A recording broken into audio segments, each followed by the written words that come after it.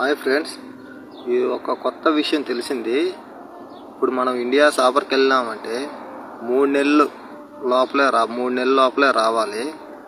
ఇంట్లో పనిచేసే వాళ్ళు డ్రైవర్ కానీ కద్దామా కానీ అదే బయట పనిచేసే కాదిం వీజా పనిచేసే వాళ్ళు బయట ఉంటారు కదా. వాళ్ళకు కూడా మూడు నెలల లోపల రాకపోతే ఖచ్చితంగా అకామా క్యాన్సిల్ అయిపోతుంది ఆటోమేటిక్గా క్యాన్సిల్ చేసేస్తున్నారు. ఎయిర్పోర్ట్లో చెన్నై ఎయిర్పోర్ట్లో అడుగుతున్నారు. నువ్వు ఇంట్లో పని చేస్తున్నావో బయట పని చేస్తున్నావు అని అడుగుతున్నారు. ఎందుకంటే ఈ చెప్తున్నానంటే ఈ మా ఫ్రెండ్ ఈరోజు ఫ్లైట్కి బయలుదేరుతాడు. అతను ఇంట్లో పని చేస్తాడు. నాలుగు నెలల ఇరవై రోజులు అయింది అతను యాప్ ఓపెన్ చేస్తే సివిల్ ఐడి యాప్ ఆటోమేటిక్గా ఓపెన్ అయింది. ఇంకొక అతను ఉన్నాడు.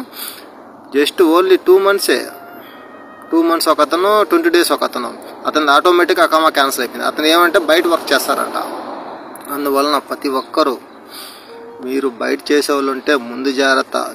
టూ మంత్సే వెళ్ళండి ఇంటికి వెళ్ళే వాళ్ళు ఇప్పుడు అది కాక కొత్త కానూన్ వచ్చింది కువైట్లో. బయట బయట పనిచేసే వాళ్ళందరినీ పట్టేస్తున్నారు.